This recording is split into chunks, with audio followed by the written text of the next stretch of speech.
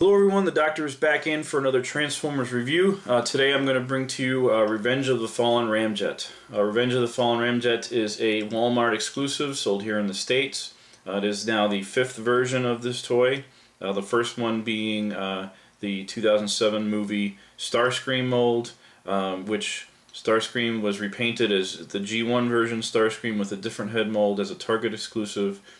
Then there was a Thundercracker uh, version of this mold, um, which has the same head mold as the G1 Starscream version, and then a Walmart exclusive Skywarp uh, uh, with that head mold as well. And now we have um, uh, this is Ramjet, which is a Walmart exclusive, and it has the original Starscream head mold, which you can sort of So, see there. You know, this toy obviously it has the same downfalls as the other ones. Um, a lot of kibble on the on the on the undercarriage, uh, which was not liked by many people.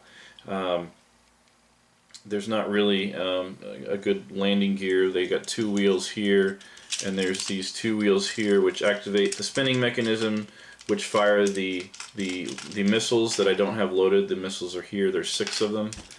Um, if you roll this on the ground, uh, it will fire those missiles. Uh, one little feature uh, is that there's this little white uh, piece on either side.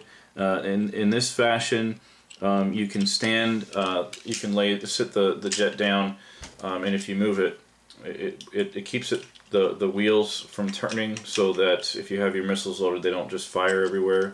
Um, and to, just to, to get that activated, you just push these uh, down. And now the wheels will activate the when it's rolled on the ground. Uh, as far as the paint scheme on this one, uh, it's pretty good. It's it's it's almost spot on to uh, the original Ramjet, uh, except for the actual you know design of the toy, obviously. Uh, the red is a little bit off, though I could I could tell you uh, it is slightly off from the original. The original Ramjet was sort of more maroon. This is more of a sort of a reddish color.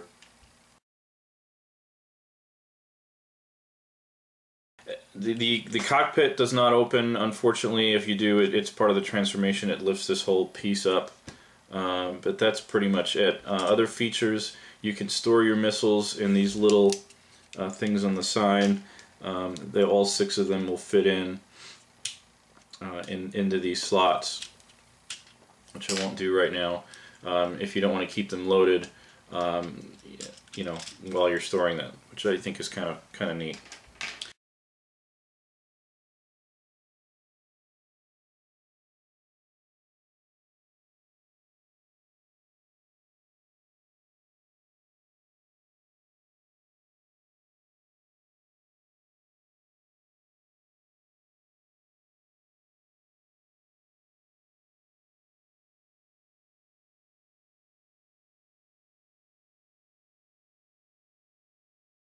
So on with uh, transformation of this guy. Uh, the first thing you're going to do is you're going to uh, sort of unhinge these wings on either side. Uh, spread the, the, arms out to the sides and then take the where the cockpit is uh, lift that piece you got to unpeg it from the nose of the plane like so and then lift that up and put it like that. Uh, now we're going to turn the figure around and you can see that the legs are there. Uh, the first thing we're going to do is we're going to open up these little one of these little panels here. Actually we're going to split these out a little bit to the side. That'll make some clearance for these panels to open up all the way. And then you can take the legs they're sort of pegged in in the back uh, lift them up and then flip them down and around. And you have to un open up that black piece too for them to completely flip around. And then you're going to close this panel back up. So we're going to do the same thing on this side. We're going to first we're going to un open up that little black panel there. Then we're going to open this little door like so. Unpeg the leg lift it it's a little tight, but lift it straight up and then flip it around like so then close the panel back up.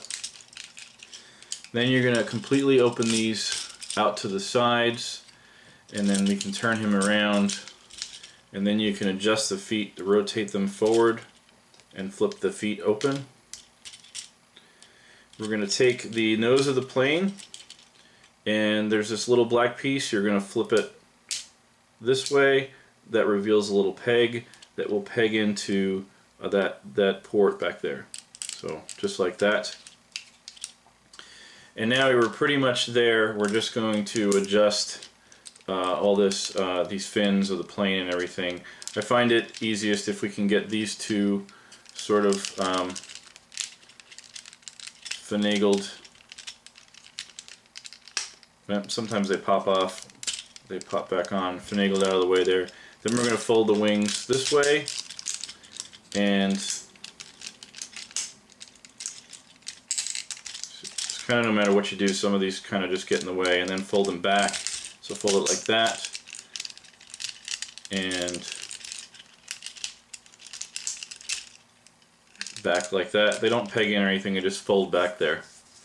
Then we're going to take these um, sort of rotate them out to the sides out of the way and then these in the back I kind of just put in that fashion um, and then there's this little flap here you're going to fold down to reveal his head and then you can kind of hide that behind the, the chest plate there.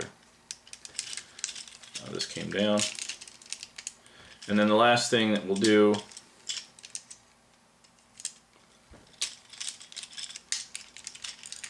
Last thing we'll do is just take these shoulders and just fold them up like that on either side. And there you have Ramjet in robot mode. And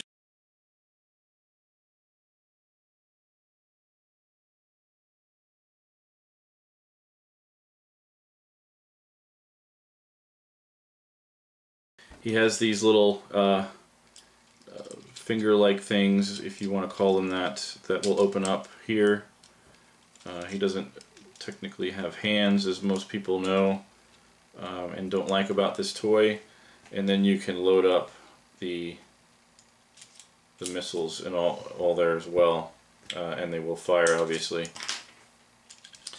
So, um, I do like this. They do look kind of cool uh, sitting, uh, you know, all the Seekers kind of next to each other. I, I, probably can't highly recommend this guy, though, um, even if, if you can still even get them. I don't even think they're available anymore. But when they originally came out, they were way overpriced, at least in my opinion. Uh, they were way overpriced, and uh, because of that and because of the overuse of the mold, uh, they kind of dropped in price and went on clearance, and that's when I picked them up. Uh, him and Skywarp, I think I got both of them for like 30 bucks or less. So if you're if you're a Seeker fan, you might want to pick this one up. Um, if you can get it at a good deal, you might want to pick this guy up. Uh, but otherwise, I can't highly recommend it. If you got one of these molds, it's probably good enough. So I think that's pretty much it. Uh, uh, one other thing is the, there's pretty cool light piping, which you probably can't see there in the eyes. Um, but that works pretty well. Um, but but it's it's okay. It's not the greatest. Um, but anyways, I hope you enjoyed this review. This is Dr. Prime. Thanks for watching. The doctor is out.